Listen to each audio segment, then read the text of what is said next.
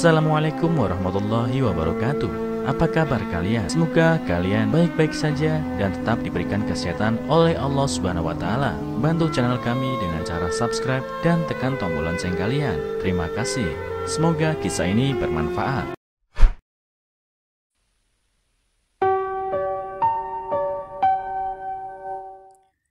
Pasangan suami istri ini beli rumah di film The Conjuring, alami gangguan mistis hingga ada serangan fisik. Dikutip dari greathype.id, pecinta film horor pastinya sudah tak asing lagi dengan film The Conjuring, bukan? Film ini mengisahkan pengalaman kehidupan nyata para pendidik paranormal Ed and Lauren Warren Ed and Lorraine Warren tiba di rumah pertanian terpencil di Rhode Island, Amerika Serikat untuk membantu keluarga Peron yang terganggu dengan rumah ini. Kini rumah yang menginspirasi film The Conjuring ini telah diambil alih oleh sepasang suami istri Corey Hansen dan Jennifer. Rumah Harrisville Peron ini dibangun pada tahun 1736 setelah melihatnya diiklankan di forum online. Menangkap berita besar di Facebook bulan lalu, Kori berkata, jadi kami melakukan sesuatu kemarin, membeli rumah pertanian kecil ini dengan sejarah yang sangat gila. Saya pikir rumah itu pernah dibuat menjadi film. Kami langsung jatuh cinta padanya, kata Kori kepada Sun Journal dikutip dari Light Bible. Berukuran delapan setengah hektar, sebuah sungai di bagian belakang dan sebuah kolam. Sangat tenang di sana, apalagi cerita di belakang rumah itu adalah rumah yang indah. Jennifer sejujurnya telah bersemangat daripada saya. Saya pikir Peron dan lima putri mereka tinggal di rumah itu pada tahun 1970-an. Saat itu mereka mengklaim telah mengalami insiden yang mengkhawatirkan bagi mereka. Apa pun yang ada di sana kemudian main-main pada awalnya. Tetapi kemudian keadaan mulai menjadi lebih seram, lebih gelap, terang kori. Dia juga mengatakan keluarga itu telah mengalami serangan fisik dan penyakit misterius setelah tinggal di rumah ini.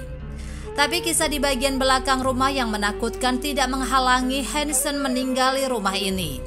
Corey yang telah menjadi penyelidik paranormal selama sekitar 10 tahun mengakui bahwa dia terlalu terpesona oleh sejarah Warrens.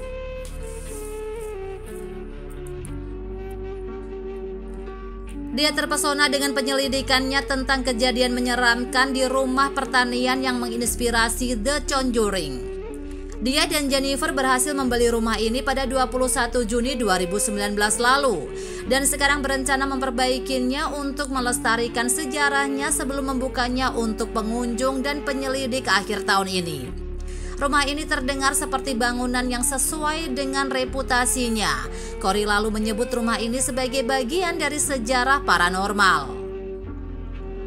Kami pernah mendengar suara pintu yang terbuka, langkah kaki dan ketukan, katanya.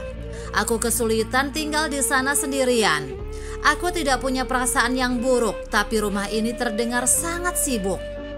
Kau bisa tahu ada banyak hal yang terjadi di rumah. Jennifer sementara itu tetap mengerti dan optimis tentang proyek untuk membuka rumah ini untuk wisata paranormal. Seluruh perjalanan ini menakutkan karena banyak alasan selain paranormal dan sekaligus menyenangkan, katanya. Saya senang jika kita memiliki kesempatan untuk berbagi pengalaman di rumah ini dengan orang lain.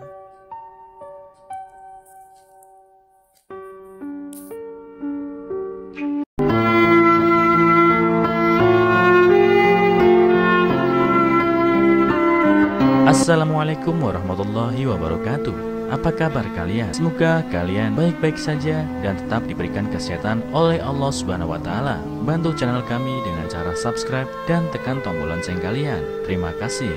Semoga kisah ini bermanfaat.